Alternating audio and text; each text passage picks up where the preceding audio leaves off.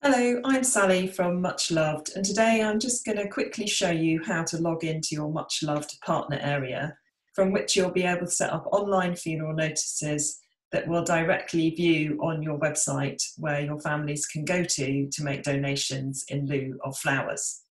So the first thing that you need to do is just to go along to muchloved.com, so just www.muchloved.com and click in the login button on the right hand side. That will take you through to our login area where you'll need to just pop in your branch email address. And if one of your colleagues hasn't already set up the password, you'll just need to click on forgotten password to create your own one. So we'll just click through on that. And what will happen is it will send an email directly to your branch email address uh, that looks something like this with a reset link on it. So you just click on that link and you'll go through to a page that looks like this, where you'll be able to add in a new password.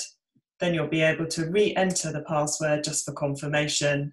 Click reset, and then that's it. Your password has been set. And then you just need to click here to log in, and that will take you back to the login page where you enter in your branch email address, enter in the password, keep yourself, click here if you want to keep yourself logged in, and then click on the login button, and then you'll be logged in to your MuchLoved partner area.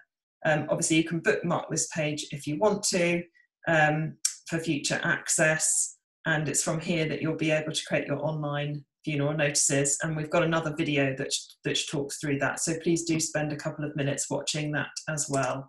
So any questions, then please do get in touch with us at support at muchloved.com or give us a number on, uh, give us a call on this number. And um, if you can't get through to us, please do leave a voicemail and we'll get back to you as soon as possible.